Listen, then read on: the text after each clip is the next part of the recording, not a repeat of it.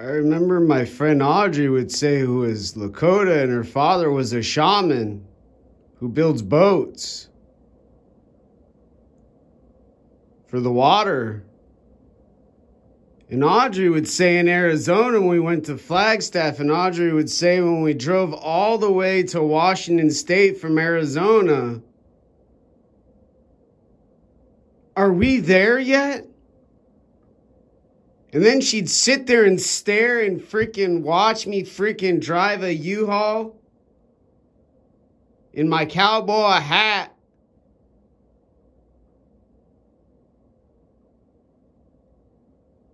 And then later I bought her flowers at the Pike's Market.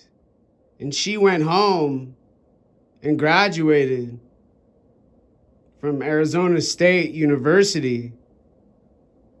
Now, now, now.